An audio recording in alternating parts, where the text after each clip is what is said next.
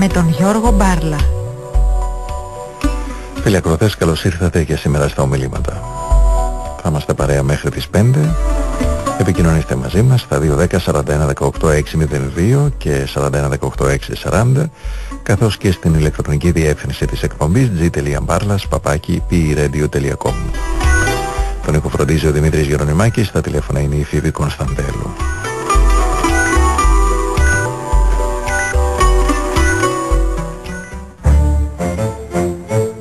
Θα συνεχίσουμε με την εντολή του Χριστού περί αγάπης προς τους εχθρούς μας από το βιβλίο του Ορθόδοξου συγγραφέα Jim Forrest «Αγαπώντας τον εχθρό μου».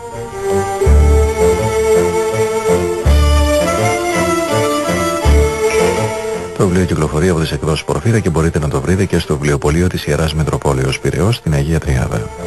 Με την ευκαιρία να θυμίσουμε και το τηλέφωνο του βιβλιοπωλείου μας 210 41 24 726.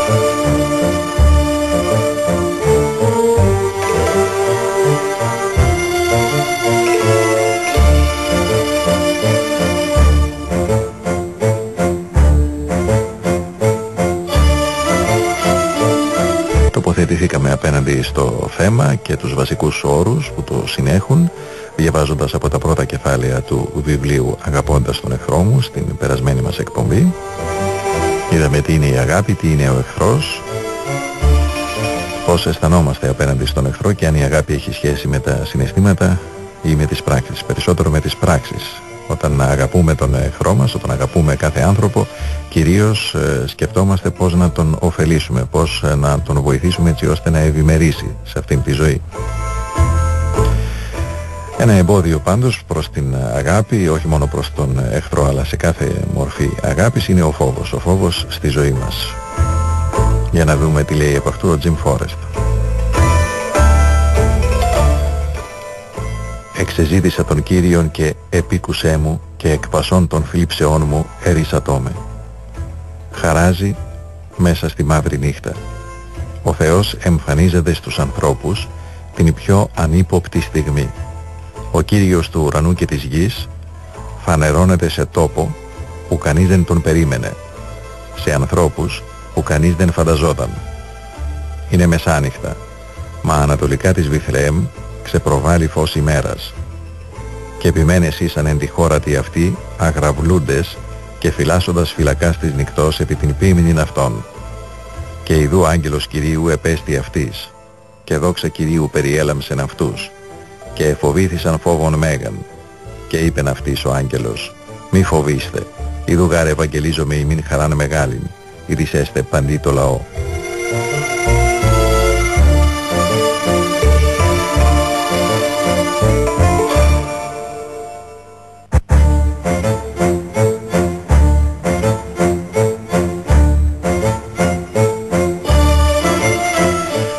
Αφήγηση της γεννήσεως, ο φόβος κατέχει ιδιαίτερη σημασία.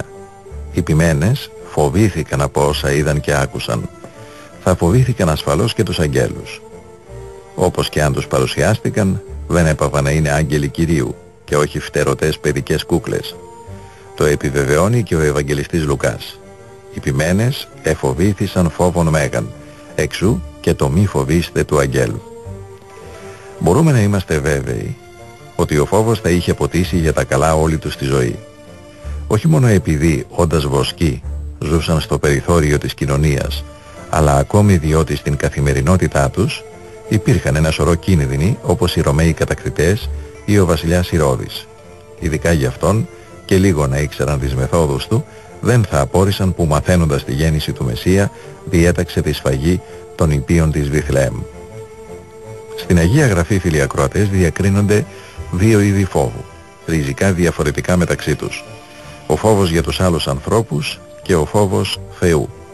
Παραδόξως, οι πιο ατρόμητοι άνθρωποι θητεύουν και γαλουχούνται στον φόβο Θεού, στο δέος που μας κυριεύει όταν συνειδητοποιούμε αφενός τη δύναμη και τη μεγαλοσύνη του Θεού, ο οποίος δημιούργησε τον σύμπαντα κόσμο και βασιλεύει σε Αυτόν, αφετέρου τη δική μας ευθύνη, αφού θα δώσουμε λόγο στο Θεό για τα έργα μας, για το πώς διαχειριστήκαμε τη ζωή και τα τάλαντα που μας χάρισε. Υπάρχει και ένας άλλος φόβος, καθόλου θεοφιλής, από τον οποίο μας καλούν να φυλαχτούμε τόσο οι άγγελοι όσο και ο Ιησούς. Πρόκειται για τον φόβο που μας κάνει να κοφεύουμε στη φωνή της συνείδησής μας, να καταντούμε δειλοί και ανέστητοι, αυτιστικοί, λόγω της αναπηρίας μας στο σχετισμό με τους συνανθρώπους μας και ακόμη τυφλοί αφού αποτυγχάνουμε να δούμε τους πλησίων μας και εδώ ανήκουν ασφαλώς και οι εχθροί ως αδέλφια και αδελφές μας.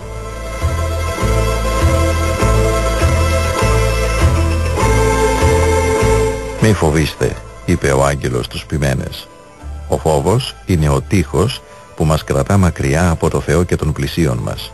Όπως παρατηρεί ο Μητροπολίτης Περγάμου Ιωάννης, η ουσία της αμαρτίας είναι ο φόβος του άλλου, που αποτελεί μέρος της απόρριψης του Θεού. Άπαξ και τελεστεί η επιβεβαίωση του εαυτού με την απόρριψη και τη μη αποδοχή του άλλου, είναι φυσικό και αναπόφευκτο ο άλλος να γίνει εχθρός και απειλή. Η συμφιλίωση με το Θεό είναι μια απαραίτητη προϋπόθεση για την συμφιλίωση με κάθε άλλο.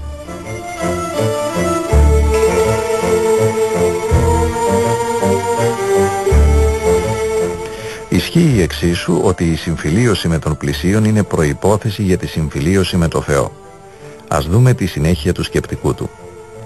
Το γεγονός ότι ο φόβος είναι παθολογικά εγγενής στην ύπαρξή μας έχει ως αποτέλεσμα όχι μόνο το φόβο του άλλου αλλά και το φόβο κάθε ετερότητας. Το σημείο αυτό είναι ιδιαίτερα λεπτό και απαιτεί προσεκτική εξέταση επειδή καταδεικνύει πόσο βαθύς και διαδεδομένος είναι ο φόβος του άλλου. Δεν φοβόμαστε απλώς ορισμένους άλλους, αλλά ακόμη και αν τους αποδεχτούμε, το κάνουμε με τον όρο να είναι κατά κάποιο τρόπο όμοιοι με μας. Η ριζική ετερότητα είναι ένα ανάθεμα. Η διαφορά από μόνη της είναι μια απειλή. Η καθολικότητα και η παθολογία του φαινομένου έγκυται στο ότι ακόμη και όταν η ετερότητα δεν συνιστά πραγματική απειλή για μας, την απορρίπτουμε μόνο και μόνο επειδή δεν μας αρέσει διαπιστώνουμε ξανά και ξανά ότι ο φόβος του άλλου δεν είναι τίποτα παραπάνω από φόβος του διαφορετικού. Όλοι προσπαθούμε με κάποιο τρόπο να προβάλλουμε στον άλλο το μοντέλο του εαυτού μας.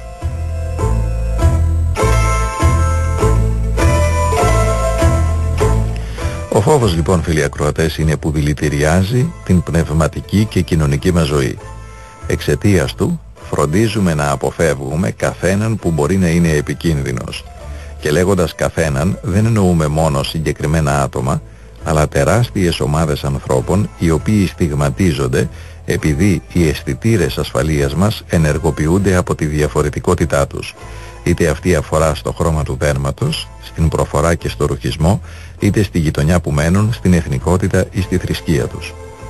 Αυτό δεν σημαίνει πως δεν υπάρχει τίποτα να φοβόμαστε. Αντιθέτως υπάρχουν πολλά. Από την άλλη όμως, το προστατευτικό κλουβί που φτιάχνουμε και τρυπώνουμε μέσα του κερδίζοντας υποτίθεται την πολυπόθητη ασφάλεια είναι στην πραγματικότητα ένας άθλιος και αποπνικτικός τόπος εξίσου τρομακτικός και από μόνος του.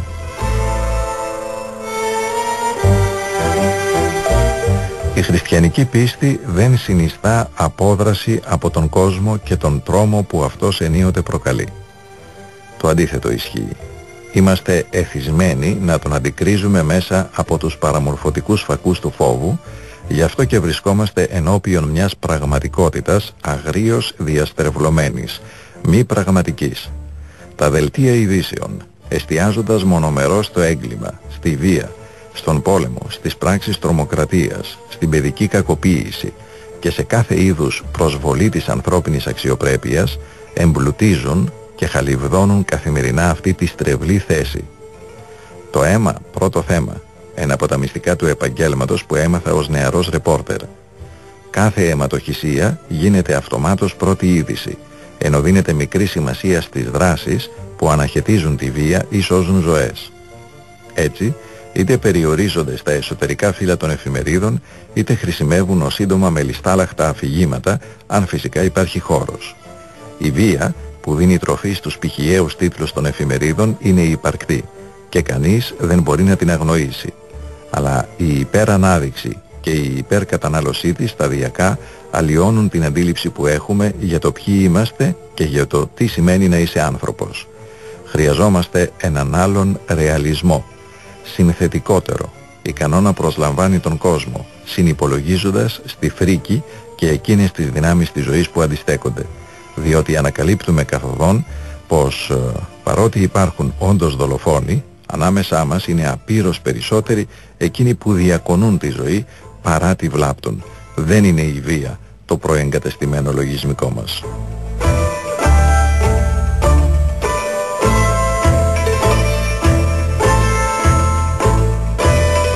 Καθήκον όλων των χριστιανών, έλεγε ο Νικόλαος Μπερδιάγεφ, είναι να κοιτάξουν κατάματα την πραγματικότητα, να έχουν πλήρη επίγνωση. Ουδεμία σχέση έχει ο χριστιανισμός με την εξειδανίκευση της πραγματικότητας. Απέναντίας φαίνεται πως αυτός ειδικά οφείλει να αψηφά τον φόβο όταν επιβάλλεται το ξεμασκάρεμα και η καταδίκη της πιο ολέθριας και αμαρτωλής πραγματικότητας. Όπως η ομορφιά του ανθρώπινου σώματος φανερώνεται στη γυμνότητά του, ομοίως ο χριστιανισμός αξιώνει την απογύμνωση κάθε πραγματικότητας από τα απατηλά της φτιασίδια.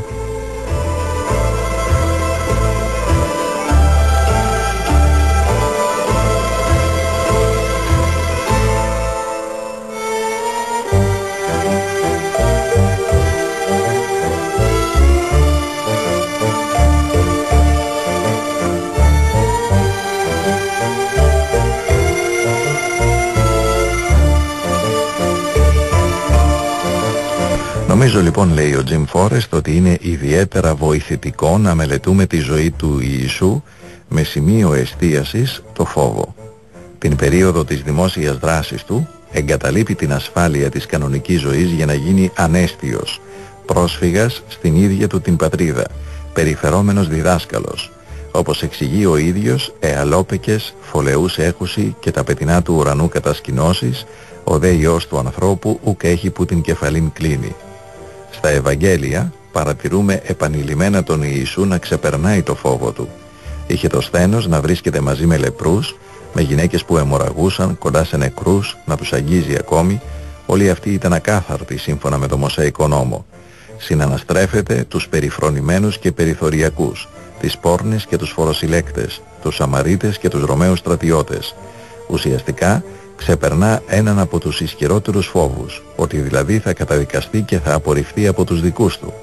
Αναποδογύρισε τους πάγκους στο ναό, βρέθηκε πλάι-πλάι με αυτούς που τον συνέλαβαν και τον δίκασαν, που τον βασάνισαν και τον σταύρωσαν.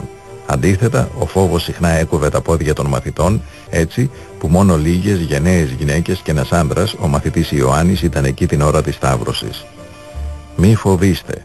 Αυτή η προστακτική βρίσκεται στην καρδιά του Ευαγγελίου αν παγιδευτούμε στο φόβο, δεν έχουμε τη δύναμη να γίνουμε μαθητές του και κατά συνέπεια αδυνατούμε να τιμήσουμε τη διπλή εντολή να αγαπάμε το Θεό και να αγαπάμε το διπλανό μας.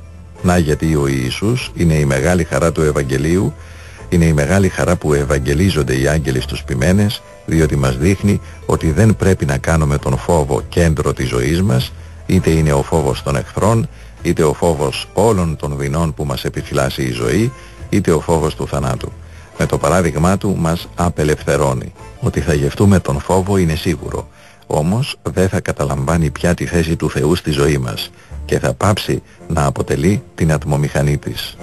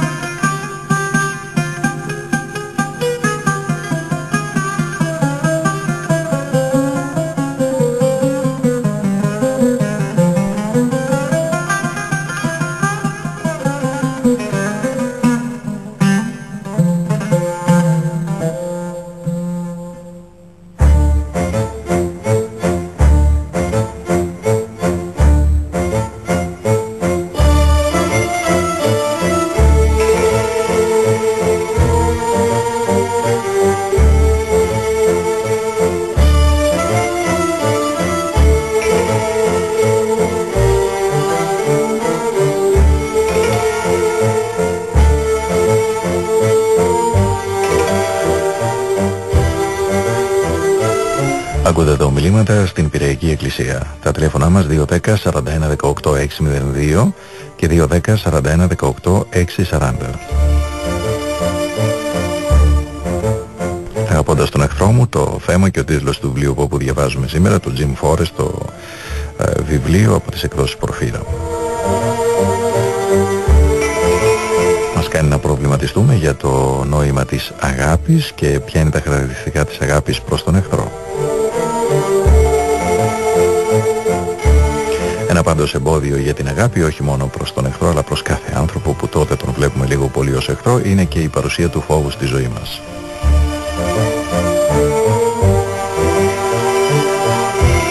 Προχωρώντας ε, βρίσκουμε ένα κεφάλαιο που έχει τον πολύ ενδιαφέροντα τίτλο «Τραπεζώνεται τους εχθρούς ημών». Για την αγάπη μπορεί κανείς πολύ εύκολα να πει θαυμάσια πράγματα, ειδικά στο ενδιάμεσο των πολέμων. Μου είπε κάποτε ένας απόστρατος Βρετανός στρατηγός στο διάλειμμα ενός συνεδρίου στην Αγγλία και συνέχισε. Είναι σαν να το παίζεις χορτοφάγος μετά από κάθε γεύμα και πριν το επόμενο. Βάλε όμως τον εαυτό σου στον δεύτερο παγκόσμιο πόλεμο. Όταν εγώ και οι συνομήλικοί μου αντιμετωπίζαμε τους Ναζί και οι βόμβες έπεφταν πάνω στα σπίτια μας, εσύ ήσουν νεογέννητο. Τι περίμενες να κάνουμε, να φορτώσουμε τα αεροπλάνα με αντίτυπα της Αγίας Γραφής και να τα ρίξουμε στη Γερμανία. Όχι πολύ αργότερα, επί Σοβιετικής Ένωσης ακόμη, βρέθηκα στο Κίεβο και συνάντησα έναν Ουκρανό Εβραίο. Είμαι ο μόνος που γλίτωσε από την οικογένειά μου, μου εξομολογήθηκε σε σπαστά αγγλικά. Ο μόνος. Και οι γονείς μου και οι παππούδες μου, τα αδέλφια μου και τα ξαδέλφια μου, όλοι τους είναι νεκροί. Δεν περνάει από το νου σου τι μας έκαναν. Ποιος θα μπορούσε να μην αντισταθεί, να μην πολεμήσει; Εσύ τι θα είχες κάνει; Και στις δύο περιπτώσεις έδωσα την ίδια απάντηση. Δεν ξέρω τι θα είχα κάνει. Όταν γεννήθηκα, ο δεύτερος παγκόσμιος πόλεμος είχε ήδη ξεκινήσει. Τέλειωσε πριν καν γίνω τεσσάρων χρονών. Αν ήμουν μεγαλύτερος, μπορεί να γινόμουν στρατιώτης ή και εθελοντής ακόμη, όμως η αλήθεια είναι πως ήμουν πολύ μικρός για να ξέρω τι ακριβώς σημαίνει πόλεμος. Για μένα σήμαινε κυρίως ότι ο μπαμπάς μου έλειπε μακριά, για την ακρίβεια ότι ήταν στρατιώτης σε ένα νησί κάπου στον Ειρηνικό ωκεανό.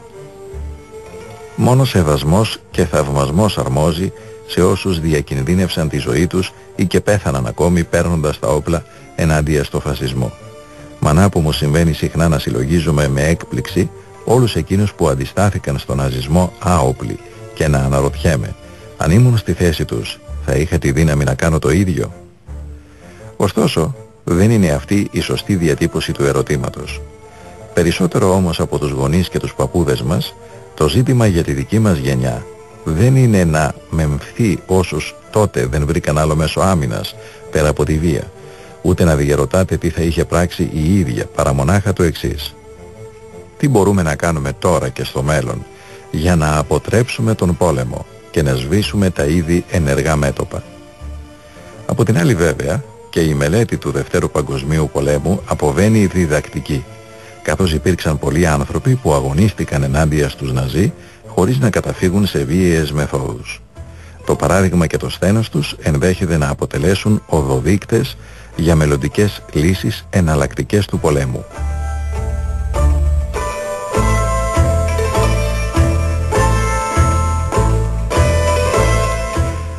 Ένας λοιπόν από τους άοπλους αντιπάλους του Χίτλερ ήταν ο Κάσπερ Μάιρ, γραμματέας της Διεθνούς Ένωσης για τη Συμφιλίωση, ενός οικουμενικού κινήματος που υιοθετεί μη βίαιες προσεγγίσεις για την επίλυση των συγκρούσεων και την αποκατάσταση της δικαιοσύνης. Τον ίδιο δεν τον γνώρισα ποτέ. Η κόρη του όμως, η Χίλντεγκαρντ, είναι από παλιά φίλη και συνεργάτης μου. Μαζί με τον άντρα της, Τζον, έχουν προταθεί πολλές φορές για τον Νόμπελ Ειρήνης, χάρη στο έργο τους στην Ευρώπη, τη Λατινική Αμερική, την περιοχή των Φιλιππίνων και την Ασία. Στα 12 της χρόνια, η Hildegard μαζί με χιλιάδες άλλα παιδιά σχημάτισαν ένα πλήθος που είχε συγκεντρωθεί για να υποδεχθεί τον Χίτλερ κατά την είσοδό του στη Βιέννη μετά την προσάρτηση της Αυστρίας στη Γερμανία τον Μάρτιο του 1938. Ιδού πώς μου αφηγήθηκε αυτή την εμπειρία. Η αυτοκινητοπομπή έκανε την εμφάνισή της.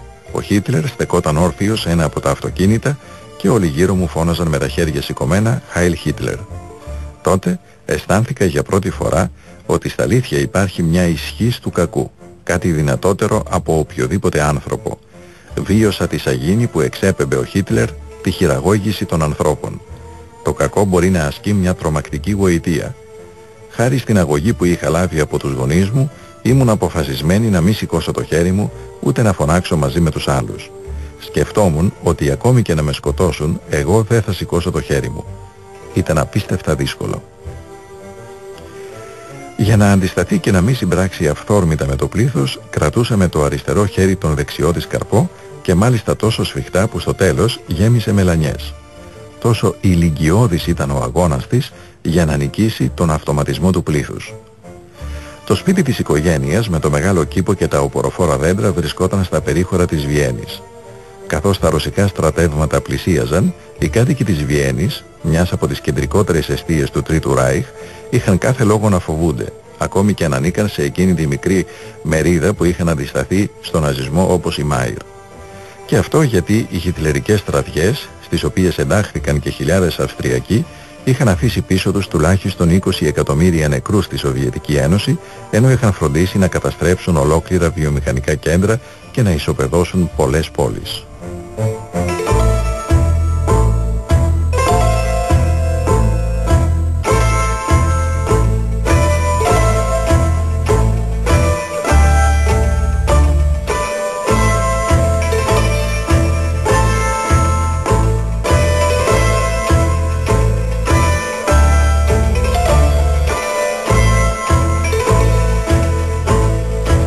Ήταν νικητές, θυμάται η Χίλτεγκάρντ, και μέχρι να φτάσουν στο κέντρο της πόλης θα εκδικούνταν και θα βίαζαν.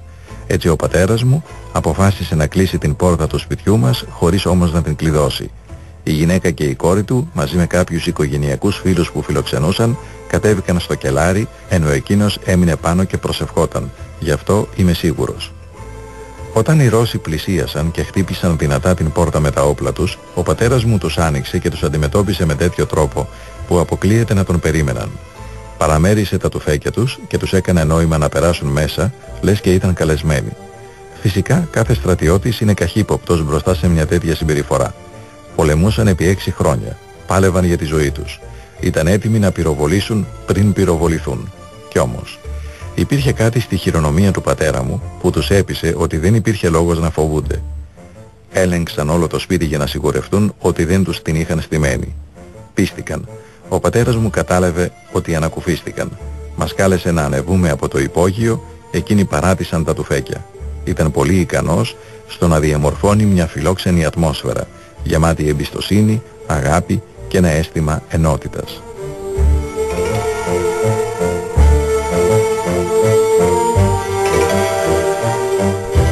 Αντί να βιάσουν τις γυναίκες και να σκοτώσουν τους ενίκους, προθυμοποιήθηκαν να μοιραστούν και το λιγοστό τους φαγητό. Έβλεπαν πόσο πεινασμένοι και αδυνατισμένοι ήμασταν. Η πόλη εδώ και καιρό ήταν απροσπέλαστη. Από την τροφή που είχαν για τους ίδιους, έδωσαν και στην οικογένειά μου και στους φιλοξενούμενούς μας. Κάποια στιγμή, ένας στρατιώτης είδε μια ρωσική εικόνα στον τοίχο του σαλονιού. Έκανε το σταυρό του και προσευχήθηκε μπροστά της. Σε λίγο, τον ακολούθησαν και οι υπόλοιποι.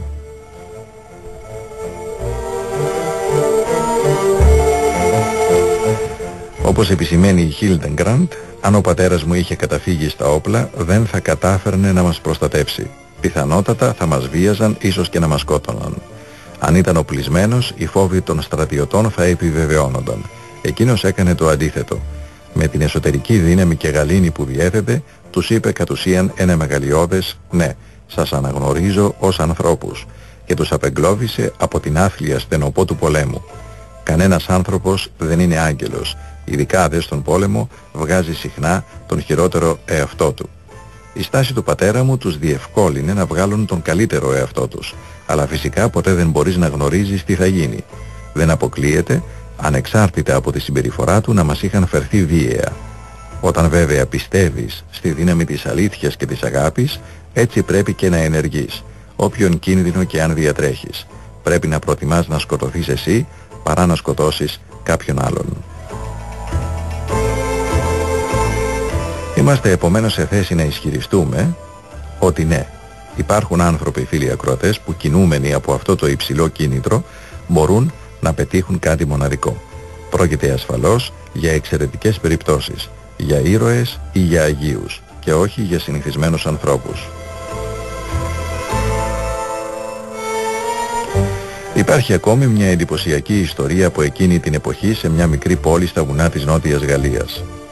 Οι 700 κάτοικοι αυτού του τόπου, μαζί με 2.000 χωρικούς που ζούσαν στις απομακρυσμένες φάρμες τους, κατάφεραν να σώσουν χιλιάδες Εβραίους από το ολοκαύτωμα.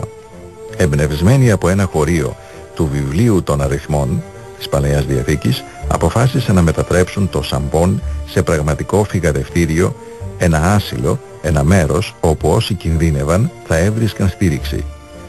Ο πάστοράς τους Ανδρέ και η σύζυγός του Μάγδα κάλεσαν τους συμπολίτες τους να μην εκχωρήσουν τη συνείδησή τους συμμετέχοντας στο μίσος, στην προδοσία και στους φόνους, όπως έκανε η συνεργαζόμενη με τους Ναζί κατακτητές γαλλική κυβέρνηση, αλλά να προσφέρουν φιλοξενία και αρρωγή στους Εβραίους που εγκατέλειπαν τις αιστείες τους.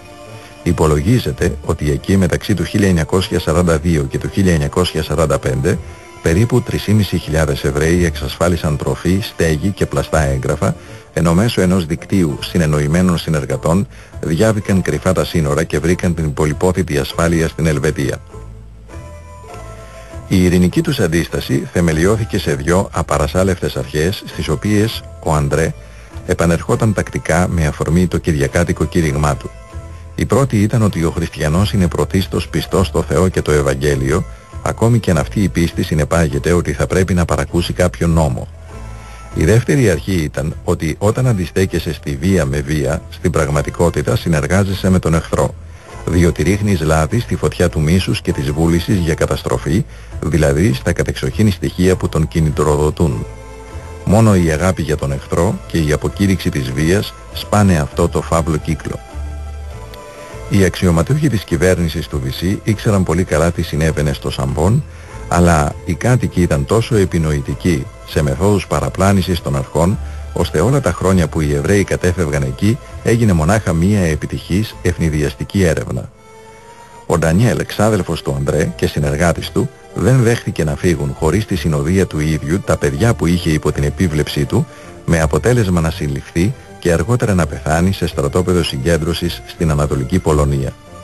Κάθε κάτοικος αυτού του χωριού κινδύνευε να συλληφθεί, να φυλακιστεί, ακόμη και να εκτελεστεί. Ο κίνδυνος ήταν οξύτατος, διότι το έργο τους είχε λάβει τέτοια έκταση που ήταν αδύνατο να κρατηθεί μυστικό. Συλλογικός ηρωισμός λοιπόν σε τόσο μεγάλη κλίμακα και μάλιστα από ανθρώπους καθόλου συνηθισμένους. Η σύλληψη του Αντρέ το χειμώνα του 1943 λίγο έλειψε να του στοιχήσει τη ζωή. Ενώ επισκεπτόταν ορισμένους ενορίτες που κατοικούσαν στα περίχωρα, η αστυνομία έφτασε σπίτι του αφού πρώτα φρόντισε να κόψει τις τηλεφωνικές γραμμές και να εγκαταστήσει φρουρούς σε όλα τα στρατηγικά σημεία του χωριού. Οι ώρες περνούσαν. Ο πάστορας επέστρεψε την ώρα του φαγητού. Η Μάγδα επέμενε να του επιτρέψουν να γευματίσει και κάλεσε τους αστυνομικούς να φάνε και αυτοί. Την ίδια ώρα στη σοφίτα του σπιτιού κρύβονταν 7 Εβραίοι που περίμεναν γεμάτη αγωνία να δουν τι θα γίνει. Η παρουσία της αστυνομίας στο σπίτι του Αντρέ δεν πέρασε απαρατήρητη και σιγά σιγά άρχισε να συγκεντρώνεται κόσμος. Όλοι ήθελαν να αποχαιρετήσουν τον πάστορά τους. Μόλις βγήκε από το σπίτι έτρεξαν όλοι κατά πάνω του για να τον αγκαλιάσουν και να γεμίσουν τις τσέπες του με τα πιο πολύτιμα καλούδια που μπορούσε κανείς να φανταστεί εκείνη την εποχή της ακραίας ένδυας. Κεριά, ζεστές κάλτσες, σοκολάτες, μπισκότα, μια κονσέρβα σαρδέλες, ακόμη και ένα λουκάνικο.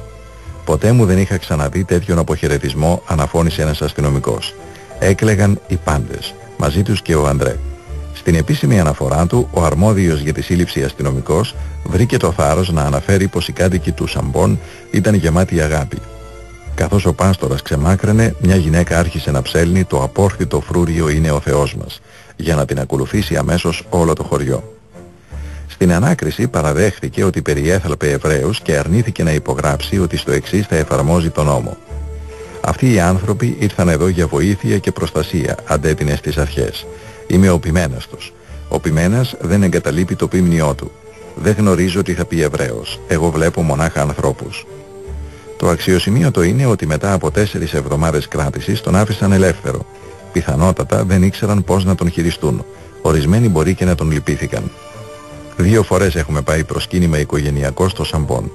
Παρότι είχαν περάσει αρκετά χρόνια από το θάνατό του και ακόμη περισσότερα από τότε που ήταν πάστορας, οι μεγαλύτεροι τον θυμόντουσαν και μας διηγήθηκαν τις μακρινές διαδρομές που έκανε με τα πόδια, μέσα στη βροχή και στο χιόνι, για να επισκεφθεί τους αρρώστους. Κυρίως όμως κρατούσαν ακόμη στο νου τους τα κυριακάτικα κηρύγματά του.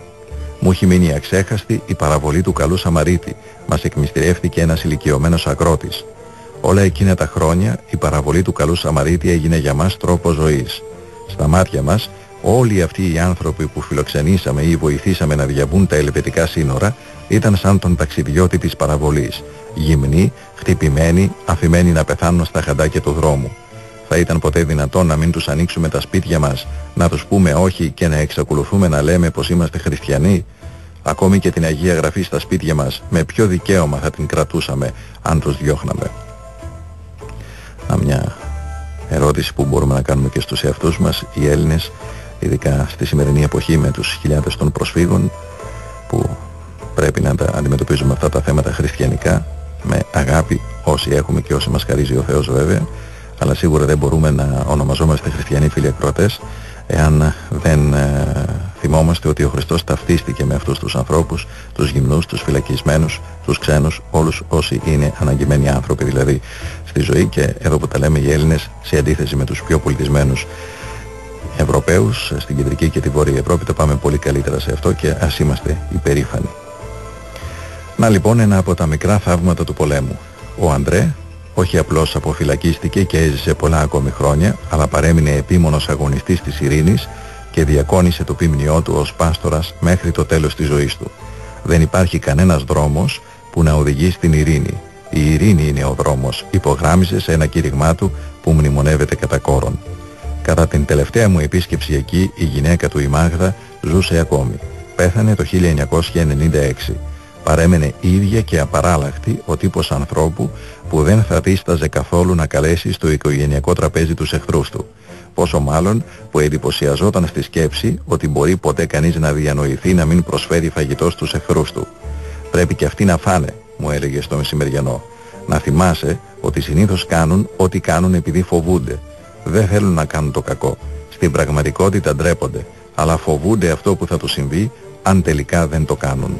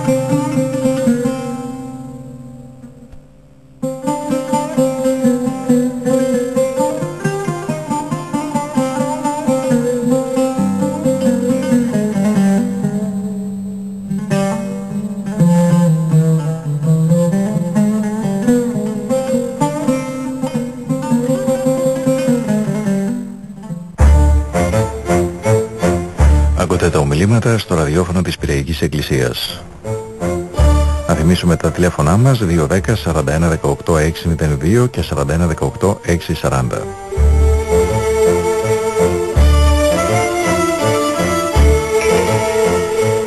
Ο σεβασμός προς τους συνανθρώπους μας φίλοι ακροατές είναι τόσο θεμελιώδης στη διδασκαλία του Χριστού ώστε θεωρεί τη λατρεία προς τον Θεό και τη λήψη της Θείας Κοινωνίας ασύμβατες με τη μνήση κακία και την εχθρότητα όποια απόχρωση και αν έχουν.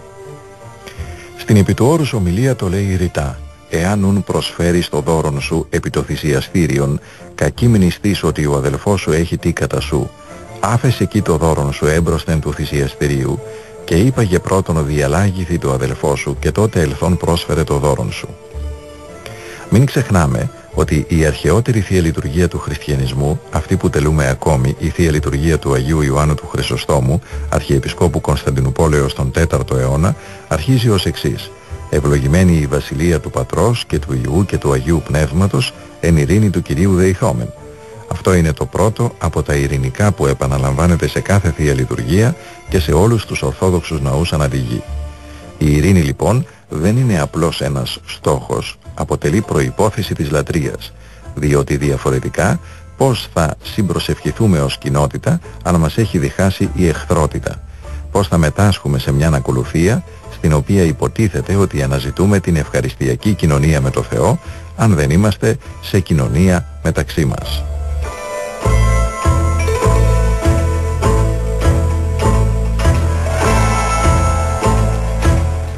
Στην κοινή λατρεία της πρώτης εκκλησίας, μετά το τέλος της λειτουργίας των κατηχουμένων, οι άνθρωποι έδιναν ο ένας τον άλλο τον ασπασμό της ειρήνης.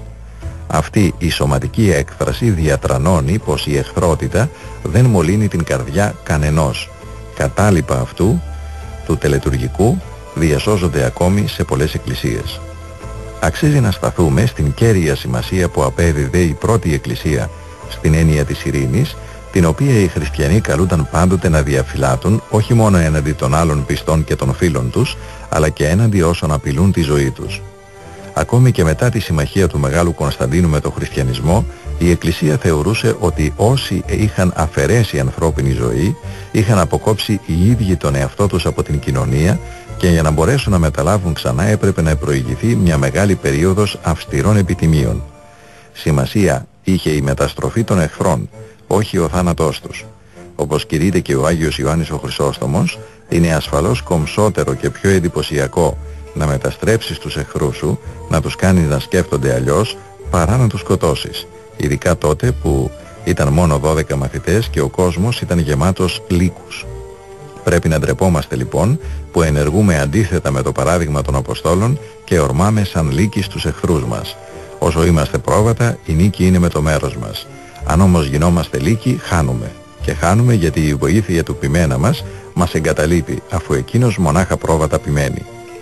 Τι δικαιολογία έχουμε εμείς που μεταλαμβάνουμε σώμα Χριστού και φερόμαστε σαν λύκοι; Τι δικαιολογία έχουμε να φερόμαστε σαν λυσασμένα λιοντάρια, όταν ο Κύριος μας οδηγεί σαν πρόβατα σε βοσκοτόπι; Για να μετάσχουμε στην ευχαριστία πρέπει να ξεπληθούμε όχι μόνο από τη βία, μα και από την εχθρότητα, ακόμη και την πιο ανεπαίσθητη, γιατί αυτό είναι, λέει ο Άγιος Ιωάννης ο Χρυσόστομος, το μυστήριο της ειρήνης.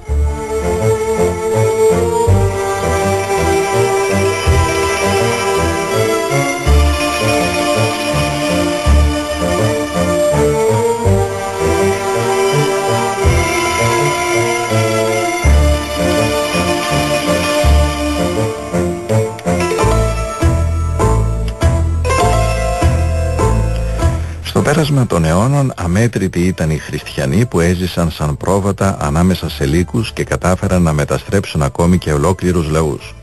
Μάλιστα, πολλοί από αυτούς εντάχθηκαν στις δέλτους των Αγίων μετά το θάνατό τους και στις μέρες μας δεν λείπει η τέτοια κατανόηση της αποστολής της Εκκλησίας. Ο Αρχιεπίσκοπος της Χάιφα, Ηλίας Σακούρ, είναι ένα εξαιρετικό τέτοιο παράδειγμα, αφού χαίρει τέτοιας εκτίμησης από Παλαιστινίους, Χριστιανούς και Μουσουλμάνους και Εβραίους, που αποτελεί έναν από τους πιο σεβαστούς θρησκευτικούς ηγέτες στο βόρειο Ισραήλ.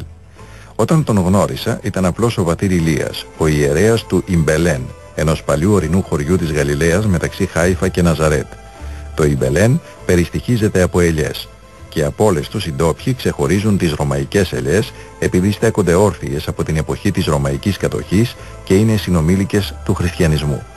Σήμερα η τοπική ενορία ανθεί χάρη στο τοπικό γυμνάσιο, στο πνευματικό της κέντρο και στη μεγάλη βιβλιοθήκη. Καθοδόν προς την είσοδο της βιβλιοθήκης υπάρχει μια όμορφη επιγραφή γραμμένη στα αραβικά, όπου διαβάζουμε το εξής απόσταγμα από τον Άγιο Αβά Θεό Γάζας. Ο Θεός είναι ο δημιουργός όλων των ανθρώπων, με όλες τις διαφορές, τα χρώματα, τις φυλές και τις θρησκείες τους. Προσοχή, κάθε φορά που πλησιάζεις τον πλησίον σου, πλησιάζεις το Θεό. Και πάλι προσοχή, κάθε φορά που ξεμακραίνεις από τον πλησίον σου, ξεμακραίνεις από το Θεό. Σαν πρωτοπήγες στο χωριό, ο πατήρ Ηλίας δεν βρήκε ούτε πνευματικό κέντρο ούτε βιβλιοθήκη. Όσο για τους κατοίκους, ζούσαν μεν ο ένας δίπλα στον άλλο, αλλά οι ψυχές τους απήχαν χιλιόμετρα η μια από την άλλη. Η εκκλησία ήταν υποκατάρρευση, το μικρό εκκλησίασμα μια από τα ίδια. Το πρώτο βράδυ δεν βρέθηκε ούτε ένας ντόπιος να τον φιλοξενήσει και ο πατήρ Ηλίας αναγκάστηκε να κοιμηθεί στο μικρό του αυτοκίνητο. Η περιγραφή που μου έκανε είναι ενδεικτική. Όταν οι ενορίδες συγκεντρώθηκαν στην εκκλησία, η διχόνοια που τους μάστιζε αντικατοπτρίστηκε καθαρά στο πώς κάθισαν μέσα στο ναό.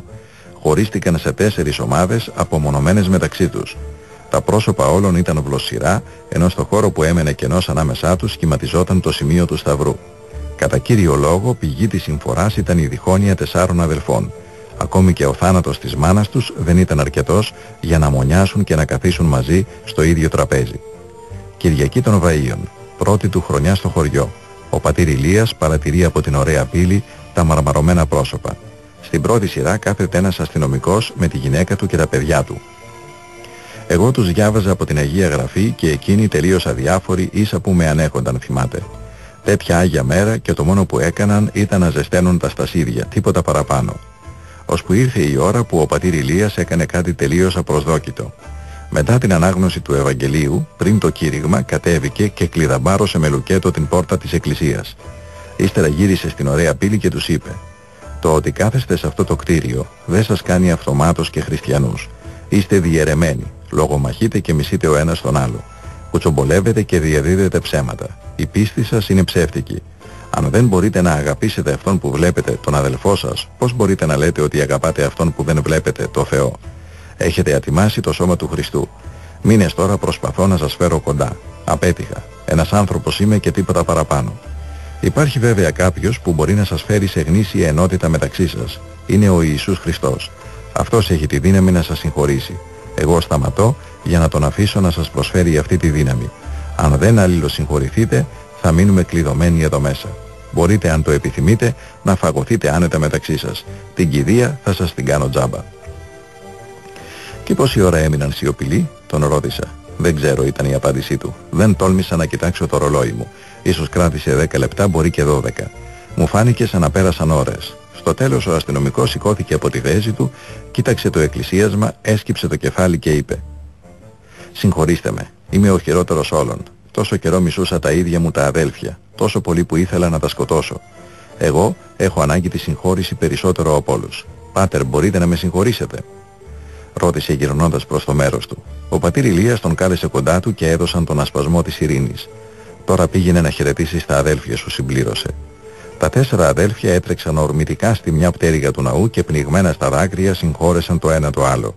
Στη στιγμή οι αγκαλιές και οι μετάνοιες έδιναν και έπαιρναν, σε όλο το ναό στήθηκε αληθινό πανηγύρι, θυμάται ο πατήρ Ηλίας. Αγαπητοί φίλοι φώναξε, αφού κανείς δεν μπορούσε να τον ακούσει από τον εφρόσινο Σαματά, δεν θα περιμένουμε μια ολόκληρη εβδομάδα για να γιορτάσουμε την Ανάσταση. Θα την γιορτάσουμε από τώρα. Ήμασταν νεκροί ο ένας για τον άλλο και τώρα ζωντανέψαμε ξανά. Όλοι μαζί άρχισαν να ψέλουν το Χριστός Ανέστη εκ νεκρών, θανάτο θάνατον πατήσας και της εν της μνήμας η ζωήν χαρισάμενος.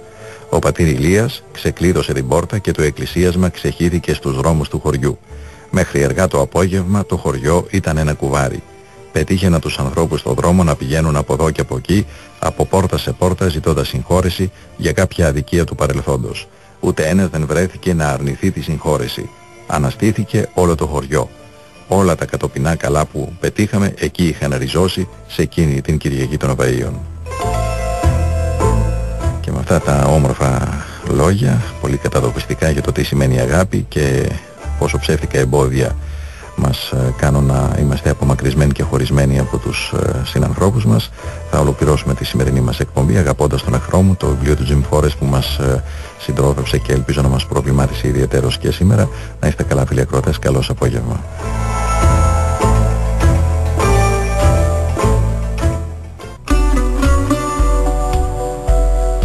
Ομιλήματα Ανθολογία κειμένων και σχολείων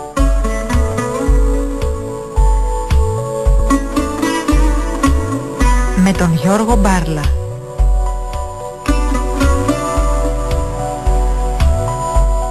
Η εκπομπή που προηγήθηκε ήταν μια ευγενική προσφορά των εκδόσεων Γρηγόρη. Αγίου Αθανασίου του Παρίου, Αλεξίκακων Φάρμακων. Ένα βιβλίο που καταρρύπτει τα ψεύδη και απαντά στις συκοφαντίες των εχθρών του χριστιανισμού από τον 18ο αιώνα ως τις μέρες μας. Στο βιβλίο περιλαμβάνεται και η επιστολή προς τον Αδαμάντιο Κοραή για το ζήτημα